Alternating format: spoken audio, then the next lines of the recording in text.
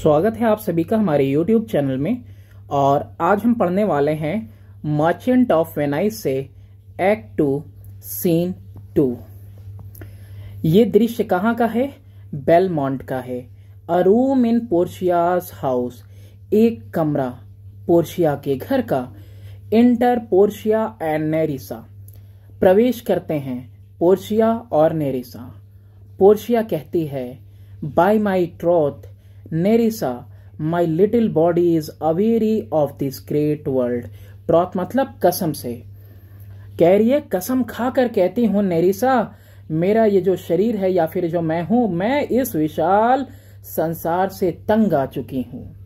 Nerissa you would be sweet madam if your miseries were in the same abundance as your good fortunes are माँ लेकिन जैसा सुख और आराम है आपको, और उतनी ही यदि कमियाँ हैं आपके पास तो परेशानी की बात तो होगी ही।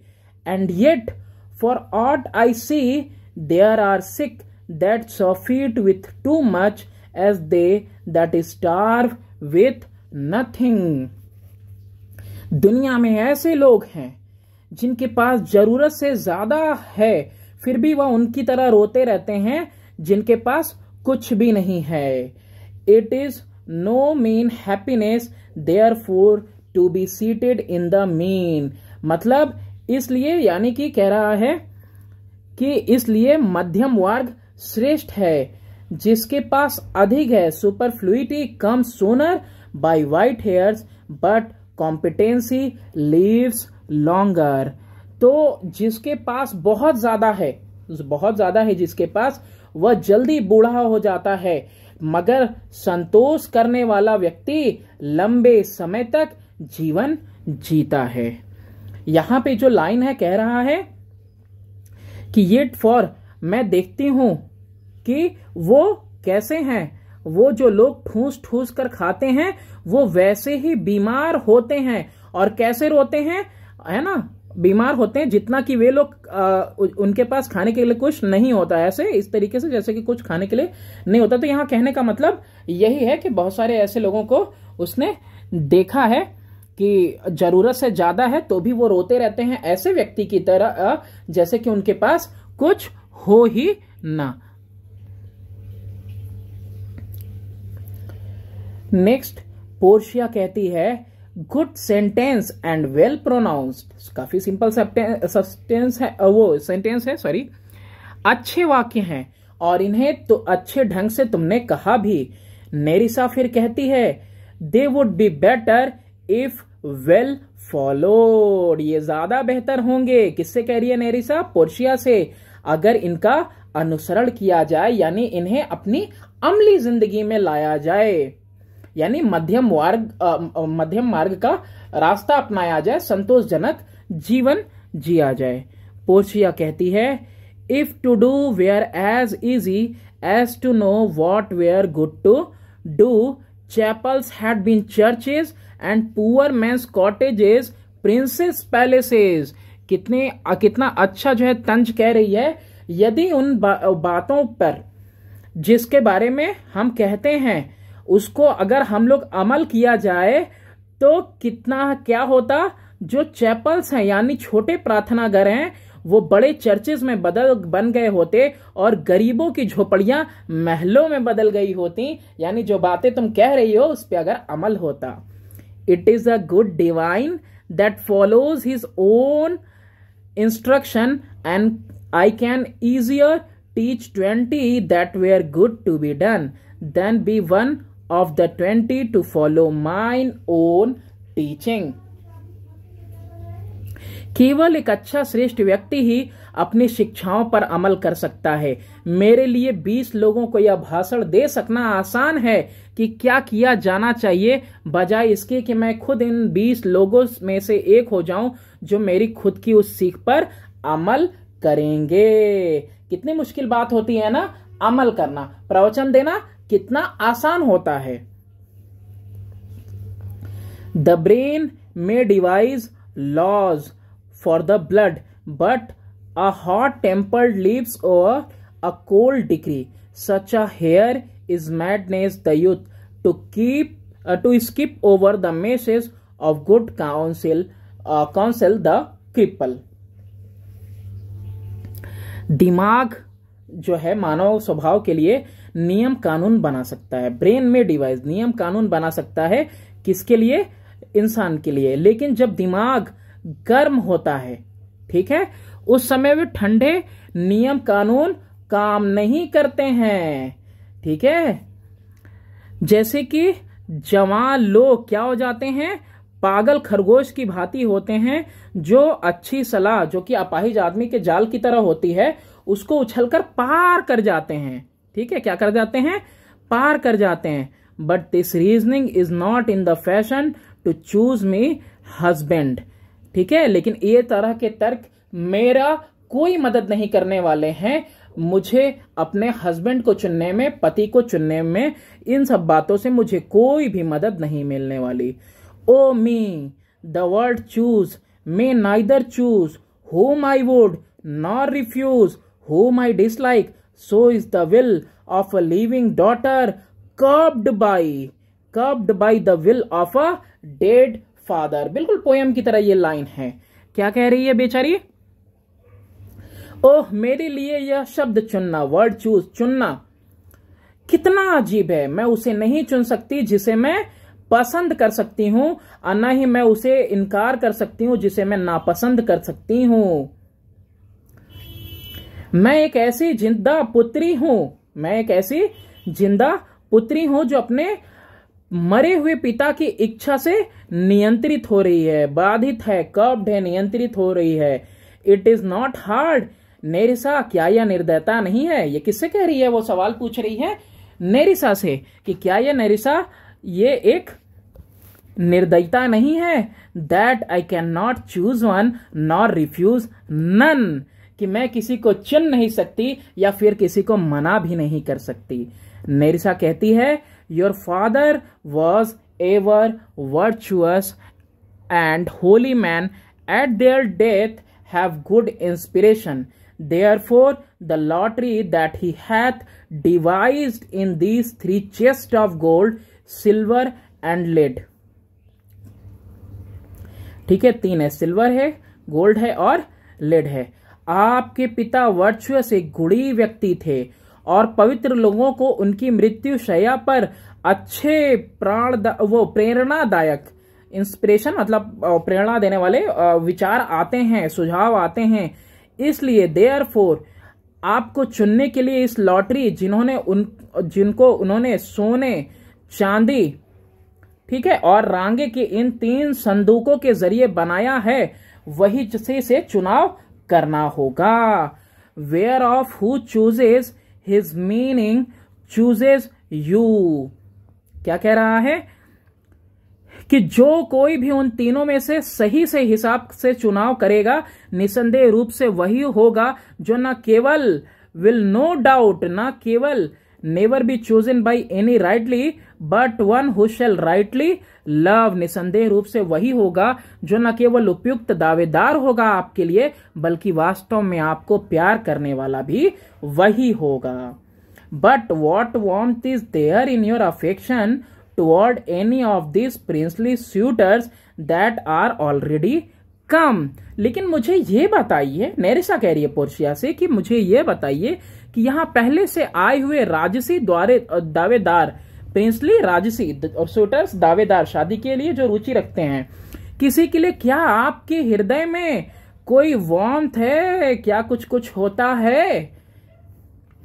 पोर्शिया कहती है I pray thee over name them तुम सूची के अनुसार एक के बाद उनका नाम लेती जाओ and as thou name is them I will describe them और जैसे जैसे तुम नाम लेती रहोगी, मैं एक एक का बताती चली जाऊँगी अकॉर्डिंग टू माई डिस्क्रिप्शन और मेरे डिस्क्रिप्शन के हिसाब से लेवल एट माई अफेक्शन यानी तुम अंदाज़ा लगा लेना कि मैं किसके बारे में कैसा महसूस करती हूँ। यानी सबका नाम धीरे धीरे तुम लेती जाओ, जो भी सूची में आए हुए हैं मेरे से विवाह करने के लिए।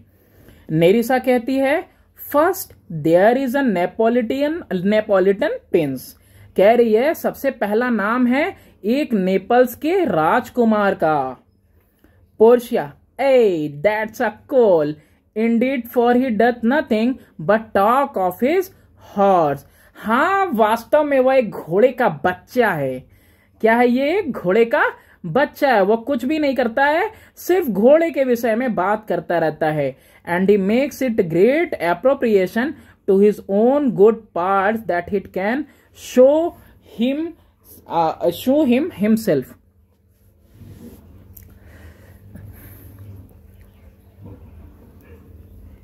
तो यहाँ पे कॉल नहीं कॉल्ट है इंडीड फॉर इट नथिंग और वो इस बात को ना great appropriation to his own part वो इस बात को बड़ा जो है ना कि अच्छा मानता है, काबिलियत समझता है खुद की, कि वो घोड़े की नाल खुद से लगा सकता है, इस बात को वो काबिलियत समझता है अपनी। तो उसने नोपोलियन के बारे में बता दिया। फिर नेरेसा कहती है then is there the county palatine यानी उसके बाद काउंट पैलेटाइन का नाम है। पोर्शिया इनके बारे में अब क्या कहती है? He doth nothing but frown as who should say and you will not have me choose क्या कह रही है? वह तो भाव दिखाने के सिवाय कुछ भी नहीं करता। फ्रॉन यानी कि भाव दिखाने के सिवाय कुछ भी नहीं करता। जैसे कि वो कहना चाहता हो। क्या कहना चाहते हो? And you will not have me choose कि यदि तुम मुझे नहीं चाहती तो मुझे इसकी कोई परवाह नहीं है।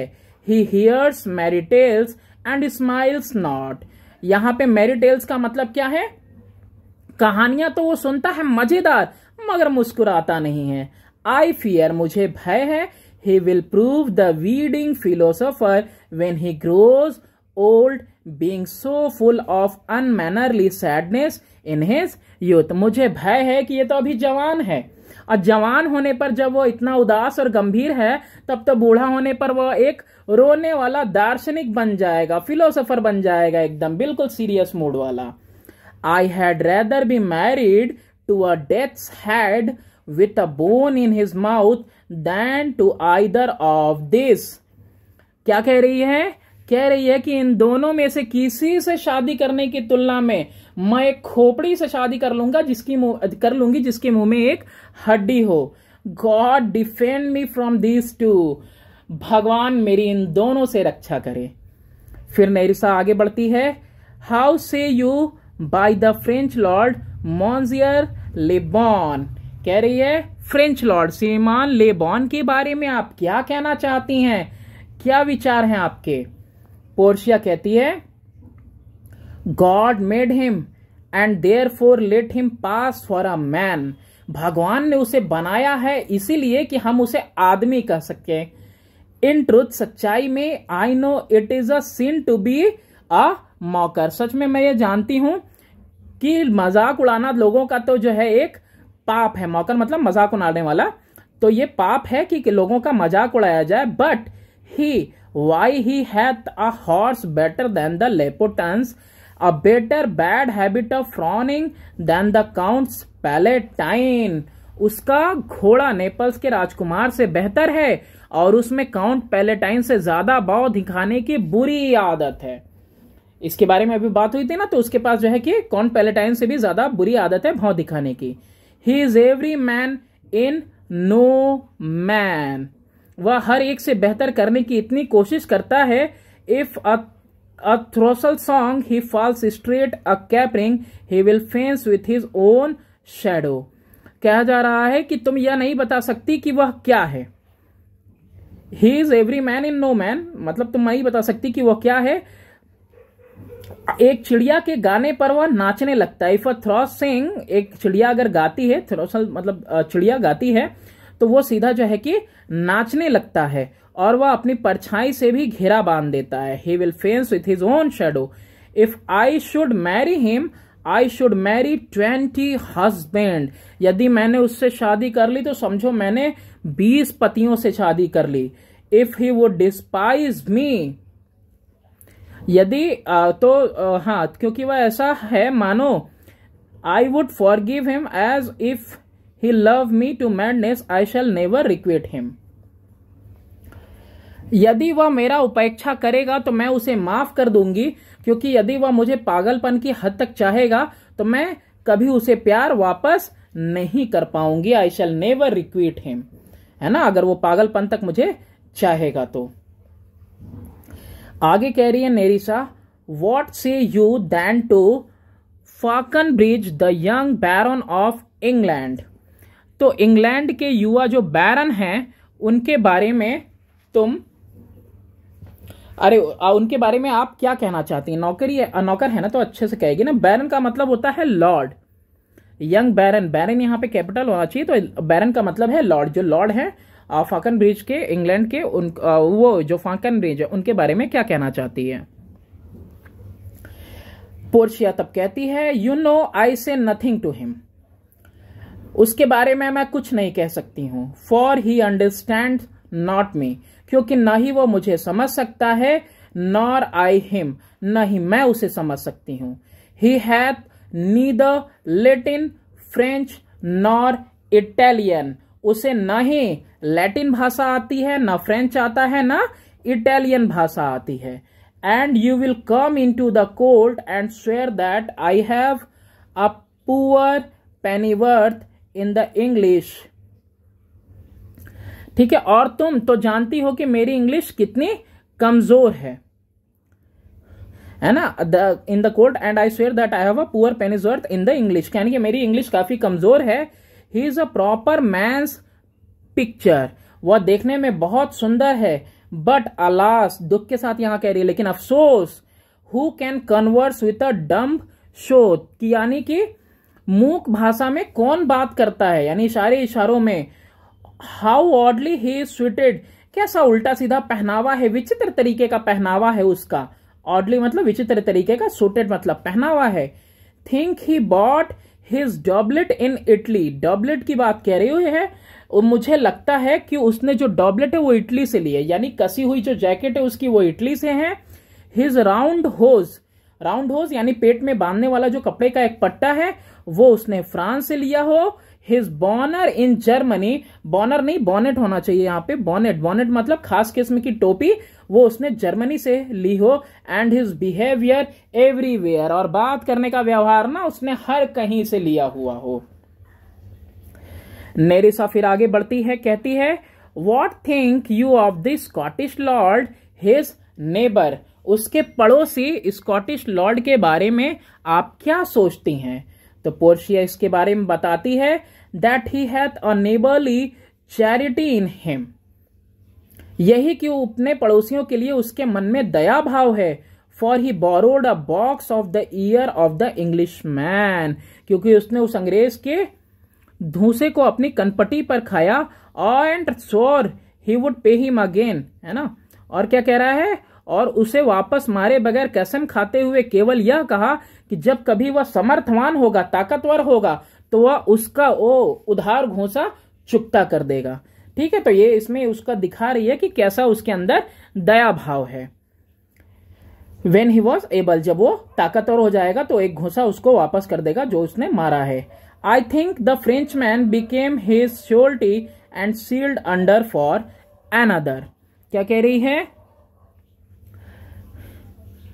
मैं सोचती हूँ कि फ्रेंच उसकी जमानत के लिए खड़ा हो गया था, जिसने यह कहा था कि अगर वह कर्जा नहीं चुका पाएगा तो वह उसकी ओर से उसे चुकाएगा। यानी वह खुद उसे घूसा मार देगा। तो ये फ्रेंच वाला इसके लिए खड़ा हो गया था।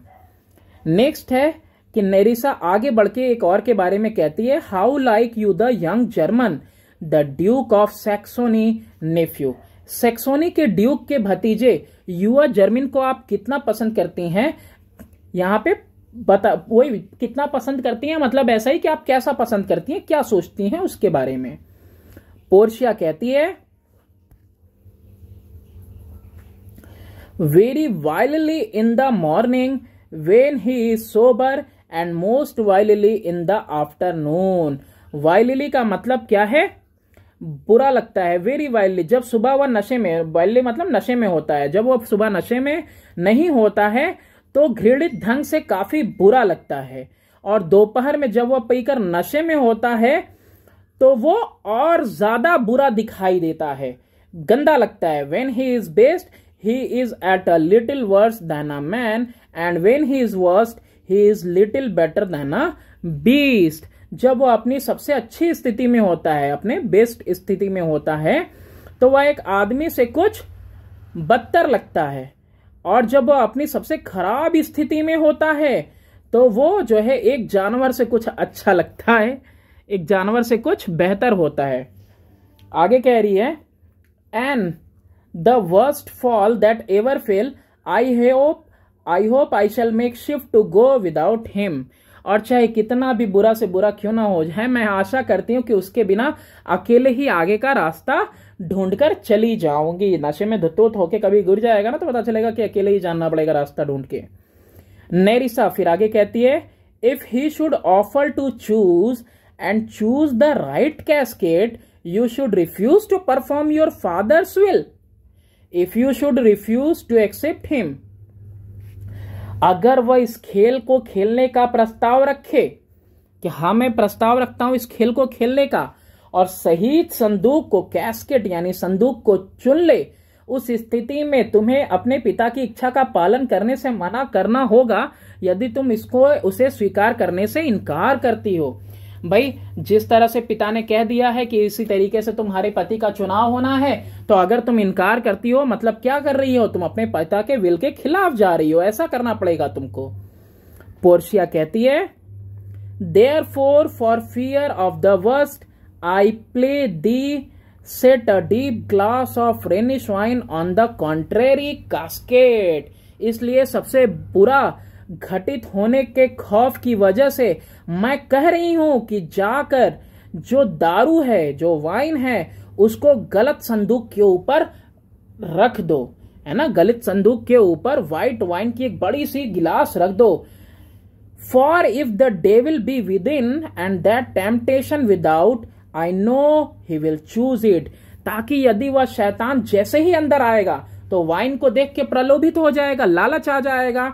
और लालच के बगैर रह नहीं पाएगा तो वो क्या करेगा? गलत संदूक को चूज़ कर लेगा।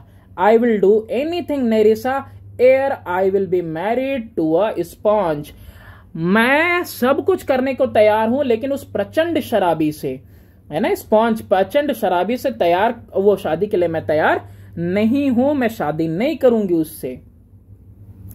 नेरिसा कहती है यू नीड नॉट फियर क्या कह रही है? You need not fear lady, मालकिन इन लॉर्ड लोगों में से किसी से आपको शादी नहीं करनी होगी। The having any of these lords, they have acquainted me with their determination है ना? शादी करनी होगी या सोचकर आपको चिंतित नहीं होने की कोई ज़रूरत नहीं है। उन सभी ने अपने इरादों से मुझे अवगत किरा दिया है। एक्वेंटेड विद डिटेल डिटर्मिनेशन कि जो भी कुछ उनका इरादा है डिटर्मिनेशन है, उससे उन्होंने हमको परिचित करा दिया है।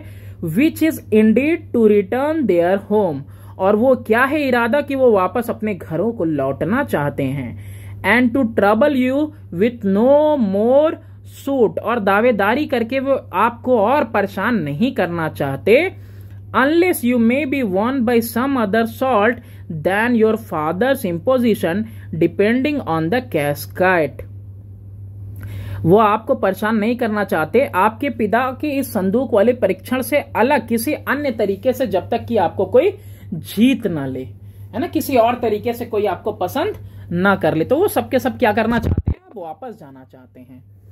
पोर्शिया कहती है if I live to be as old as Sibylla अगर यदि मुझे सिबला की तरह बूढ़ी होकर जीना पड़ता है I will die as chaste chaste मतलब होता है पवित्र होना। As Diana unless I be appointed by the manner of my father's will कितनी अच्छी बात कह रही है कि यदि मुझे सिबला की तरह बूढ़ी होकर जीना है तो मैं डायना की तरह पवित्र मरूँगी, है ना? यानी मुझे कोई नहीं छुएगा। जब तक कि मेरे पिता द्वारा बताए गए तरीके से मुझे जीत न लिया जाए। I am glad this parcel of wooers are so reasonable मुझे खुशी है कि दावेदारों का यह जो प्रस्ताव है बहुत रीजनेबल है, उचित है, क्योंकि for there is not one among them but I dote on his very absence and I pray God grant them a fair departure क्योंकि उनमें से कोई भी अब वहाँ नहीं होगा, लेकिन मुझे उनकी यह अनुपस्थिति पसंद है। ठीक है, चले जाएँ तो अच्छा है। एंड आई प्रे गॉड यहाँ कह रहा है, और मैं भगवान से उनकी सकुशल वापसी की दुआ करती हूँ कि वो सही तरीके से अपने घर को वापस चले जाएँ। Nerissa do you not remember lady in your father's time a Venetian a scholar and a soldier that came hither in company of the Marquis of the Montferrat. Nerissa कुछ याद दिला रही है। क्या याद दिला रही है? डू यू रिमेम्बर मालकिन से कह रही है लेडी मालकिन कि क्या आपको याद नहीं है जब आपके पिता जीवित थे आपके पिता के समय में?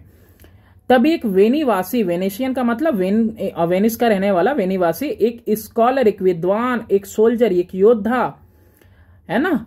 मोल्टफील्ड के मार्केस, ड्यूक से नीची श्रेणी का कुलीन व्यक्ति होता है, उसके साथ वो आया था, है ना? That came hither in company company मतलब साथ में आया था। मार्केस ऑफ़ मॉन्टफोल्ट यानी कि ड्यूक से नीची श्रेणी का कुलीन व्यक्ति आया था के साथ वो आया था। पोर्शिया कहती है yes yes it was Bassanio हाँ हाँ मुझे याद है, उस व्यक्ति का नाम क्या था? बेसिनियो था। As I think so was he called इसी नाम से उसे पुकारा जा रहा था।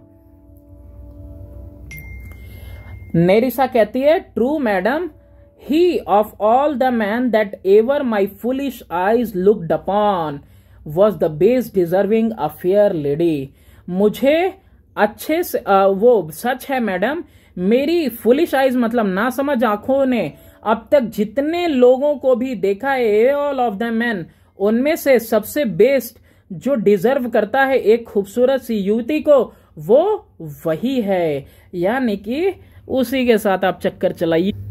है ना? मतलब ये कहना यही चाह रही है इशारा इसका यही है कि वही बेस्ट डिजर्विंग है वो आपको डिजर्व करता है।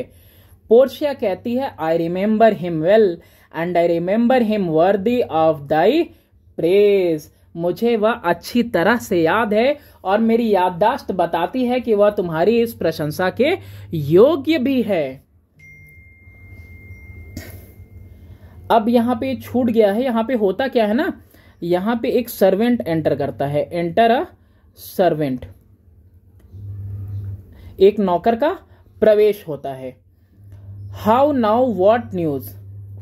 ठीक है? कौन पोर्शिया ही बोलेगी नौकर के प्रवेश होने पर? हाउ नाउ, अभी कैसे? What news? क्या खबर है? तो सर्वेंट कहता है, the four stranger seek for you, madam. Madam, चार परदेसी आपसे विदा लेने के लिए to take their leave and there is forerunner come from a fifth चार लोग आपसे विदा लेने के लिए आपका इंतज़ार कर रहे हैं और एक पांचवा व्यक्ति है जो कि अभी उसकी तरफ़ से come from a fifth the prince of Morocco who bring word of the prince his master will be there will be here tonight और एक फोर रनर आया हुआ है। फोर रनर का मतलब होता है अग्रदूत आया हुआ है। यानी कि किसी बादशाह के आने से पहले कोई अग्रदूत होता है, बताता है कि हाँ भाई बादशाह आने वाले तो वैसे एक अग्रदूत आया हुआ है प्रिंस ऑफ़ मोरक्को की तरफ़ से। चार, विदा लेने के लिए आपका इंतज़ार कर रहे हैं। आपसे मिलेंगे, विदा ले लेंगे। पांचवा, एक अग्रदूत आया है प्रिंस ऑफ़ मोरक्को की तरफ़ से। और जो इसने ये बात कही है कि उसके जो मास्टर है, मालिक, वो राजकुमार आज रात तक यहाँ पर पहुँचेंगे। पोर्शिया कहती है if I could bid the fifth welcomes with so good heart as I can bid the other four farewell. कह रही है कि यदि मैं उस पांचवे का स्वागत उतने ही खुश दिल से कर सकती हूँ, जितने से मैं बाकी चारों से विदाई कर रही हूँ तो मुझे उससे मिलकर खुशी होती। मतलब चारों को जिससे तरह से विदा करने में खुशी हो रही है, वैसे ही पांचवे से मिलने में हो। I should be glad of his approach तो मुझे उसके आने में बहुत खुशी होती। If he have the condition of a saint and the complexion of a devil यदि वह साधु के स्वभाव वाला होता और शैतान जैसा दिखता I have rather he should shrive me than wive me तो मैं उससे कहती कि मुझे अपनी पत्नी बनाने के बजाय मुझे माफ़ करे। कुछ लाइंस छूट गई थी यहाँ टाइपिंग में। Come Nerissa to servant sirrah go before whiles we shut the gates upon one wooer another knocks at the door क्या कह रही है? नौकर से। चलो नेरिसा सिर्रा, पहले तुम चलो। गो बिफोर नौकर का नाम होगा सिर्रा कह रही है चलो नेरिसा आओ। फिर वो नौकर से कहती है कि, सिर्रा, चलो, पहले तुम चलो। वाइल वी पहले जैसे ही हम एक दावेदार के लिए, वूवर, लुभाने वाला दावेदार, उसके लिए जैसे ही एक दरवाज़ा बंद करते हैं, वैसे ही दूसरा आकर दरवाज़ा खटखटाने लगता है। और यहाँ पे टू खत्म होता है आपका। सबका प्रस्थान हो जाता है। Thanks for watching do subscribe and share my channel